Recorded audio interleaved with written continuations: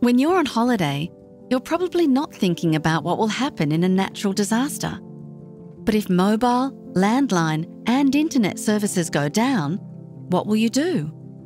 Plan ahead and learn about the risks where you are.